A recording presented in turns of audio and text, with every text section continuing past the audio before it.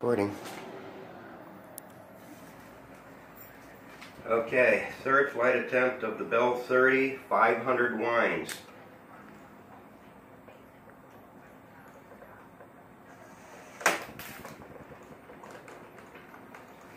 Here we go.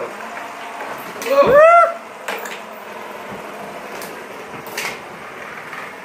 Whoa, she got off the ground. Almost crashed. Oh, I caught it though.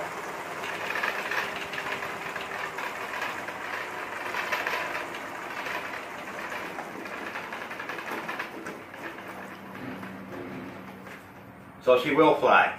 Did. Change the gearing drive ratio, set a 2 to 1, go to 5 to 1, she'll fly. Woohoo!